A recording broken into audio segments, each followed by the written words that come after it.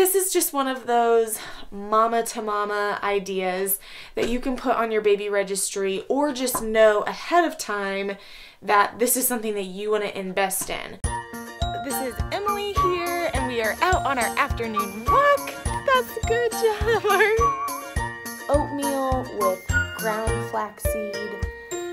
Big swing.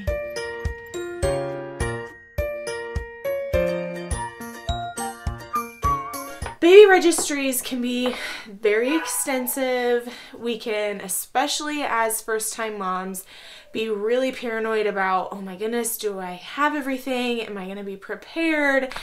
What am I going to use every day? What am I never really going to end up using? And then what are people actually going to buy me? What do I ask for? All of those types of questions that can come to your mind as a first time mom or even a second time mom. So, we are pregnant with baby number two, and I was starting to think of what did I actually use with Harvey every single day since he's been born. The first thing is this rocking chair, okay? Rocking chairs are amazing. I don't have the luxury necessarily to nurse or be in our room um, when Harvey woke up as a newborn, and I won't again with Cal or with baby number two. I'm not disclosing the name yet.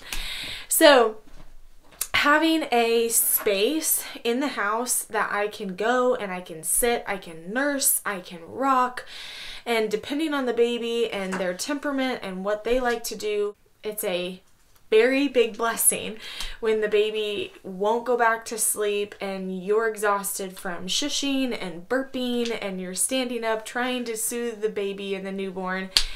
And then you have the rocker. We we love this rocker. It's comfortable, it's soft, it's quiet. Um, and another one of the big things that we enjoy about this rocker is that it swivels. And it's one of those big ticket items that you can be really thankful for that maybe somebody else gifts you or that even you ask as maybe your whole family um, chips in for or your friends chip in for um, because these can be kind of expensive.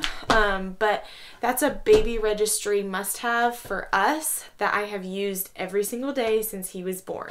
So, what is baby registry must have number two? A good monitor. Okay, so I'm going to show you guys. My son, Harvey, is upstairs right now inside our home in his bed. And I just put him down for his nap. And the reason why I say, okay, he's kind of under the, he's kind of playing around with his blanket. But you can see here, he's playing around in his big boy bunk bed. You can see how great it is that I have the freedom because of this monitor to come outside when it's absolutely beautiful and enjoy some sunshine. And I don't feel like I have to be inside the house two inches away from the door to make sure that he's not crying or screaming. And, and I have the peace of mind knowing that he's okay because of this little monitor. So I know it may sound silly to some, because some people don't, they're anti-monitors, which is totally fine. That's totally your prerogative. But I will say that when I have the freedom to do and to go pretty far, this thing reaches, it reaches pretty far. There he is. He's just kind of hanging out there. Yeah. Um, it reaches pretty far. So he's inside all the way upstairs in his room with the door closed.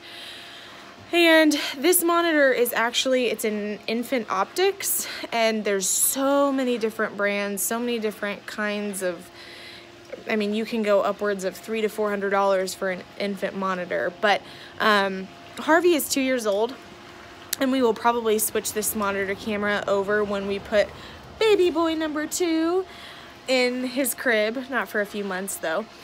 And so Harvey won't have a monitor in his room anymore because he gets up and out of bed on his own anyways. But for right now, before baby number two comes, it is nice to still have to know, oh, yep, okay, he's just playing around in his bed. He's fallen asleep. Just that peace of mind. So again, this is the Infant Optics. And um, this is by satellite instead of Wi-Fi, which is something that I didn't really think about before um, making a baby registry um, was the fact that a lot of monitors are by Wi-Fi. So if some kind of creepy person happens to get on your home Wi-Fi, then they could look in on your baby sleeping. So thinking about a good monitor, we invested in this one and it has been awesome. It's lasted us two years and will probably last us another year or two. Um, so we have the infant optics, but the reason why I'm saying this is because this is one of our three things that our family has used every single day since Harvey has been born. Okay guys, now we are outside and we are on our evening walk. This is my son, Harvey, and you are how old? Hi. you just want to say hi? And we are with our little puppy, Gunner. Here's Gunner.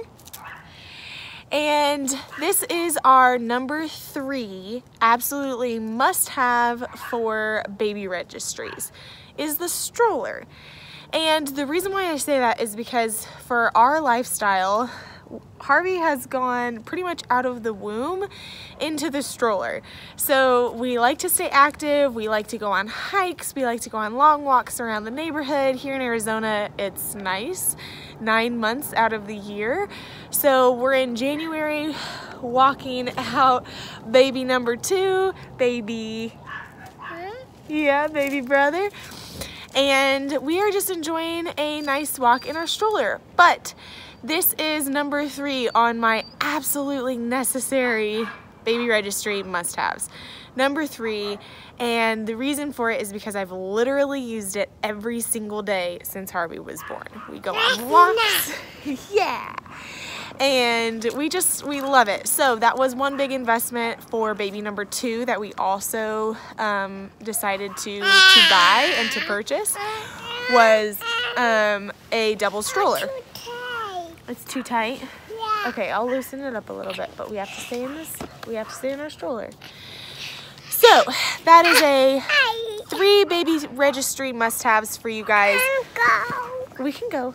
I hope that helps you guys, and um, you want to say bye-bye? So if you have any other baby registry must-haves that you that's so nice. That you put on your list for more of bigger ticket items. Let me know. Those are my three. The Bye -bye. rocker, the monitor, and the stroller. Hope that helps you guys. Have a great rest of your evening. Bye. Mama out.